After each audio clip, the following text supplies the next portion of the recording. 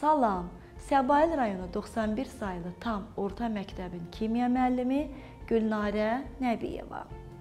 Biz maddələrin xassələri ilə yanaşı, onların tərkibini və quruluşunu da bilməliyik. Bu məqsədlə gəlin atom və molekul anlayışları ilə tanış olaq. Hələ 2500 il əvvəl qədim Yunan filosofu Demokrit bütün cisimlərin ən kiçik, görünməyən və daim hərəkətdə olan hissəciklərdən, yəni atomlardan təşkil olunması haqqında fikir söyləmişdir. Bəs görəsən elementin ən kiçik hissəciyi olan atom bölünəndimi?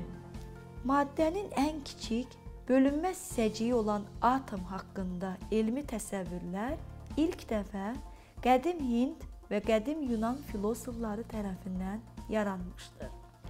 17 və 18-ci əsrlərdə artıq kimyaçılar və fizika alimləri də bu ideyanı təsdiqləyərək atomun həqiqətən bölünməz olduğunu öz elmi ixtiraları əsasında sübut etdilər. Atom sözü qədim Yunan dilində bölünməz deməkdir. Atom maddənin kimyəvi cəhətdən bölünməyən ən kiçik hissəciyidir. Obrazlı şəkildə ifadə etsək, bir divarın əsas tikinti materialı kərpic olduğu kimi, atomlarda sanki elementin əsas tikinti materialıdır. Molekul maddənin kimyəvi xassələrini və tərkibini özündə saxlayan ən kiçik hissəcikdir. Artıq 1860-cı ildə Almaniyada Beynəlxalq Kimyaçılar Konqresində atom və molekul haqqında fikirlər irəli sürüldü və bir çox kimyaçı alimlərin təşəbbüsü ilə atom-molekul təliminin əsası qoyuldu.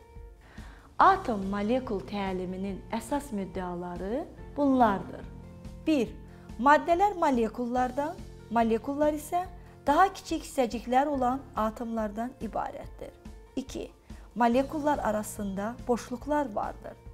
3. Molekullar daim hərəkətdədir. 4. Molekullar arasında qarşılıqlı itələmə və cazibə qüvvələri mövcuddur. 5. Molekullar atomlardan təşkil olunub. Onlar da daim hərəkətdədirlər. 6. Bir atom növü başqasından kütləsi və xassəsi ilə fərqlənir. 7.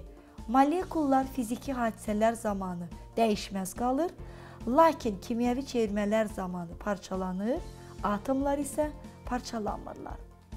Görəsən, maddələr yalnız atomlardan və molekullardan təşkil olunub? Sonrakı elmi axtarışlar göstərdi ki, maddələr təkcə atom və molekullardan deyil, eləcə də müsbət və mənfi yüklü hissəciklər olan ionlardan təşkil olunur. Məsələn, xörək duzu, soda, təbaşir belə maddələrdir. Beləliklə, molekullardan ibarət olan maddələr molekulyar quruluşlu, atom və ionlardan ibarət olan maddələr isə qeyri-molekulyar quruluşlu maddələr adlanır. Molekulyar və qeyri-molekulyar quruluşlu maddələr xassələrinə görə bir-birindən kəskin fərqlənir. Belə ki, Molekulyar quruluşlu maddələr adi şəraitdə qaz, məsələn, oksigen, azot, hidrogen, karbon qazı, maye, məsələn, su, spirt, aseton, bərk və asan əriyən, məsələn, kristallik, kükürt, ağ, fosfor kimi maddələrdir. Bütün qeyri-molekulyar quruluşlu maddələri isə bərk, çətin əriyən maddələrdir. Bu maddələrə misal olaraq almaz, qrafit, xörək duzunu göstərmək olar. Atomun tərkibi 19-cu əsrin sonu və 20-ci əsrin əvvəllərində edilən elmi kəşflər bir daha onu göstərdi ki, atom özü də mürəkkəb bir hissəcikdir.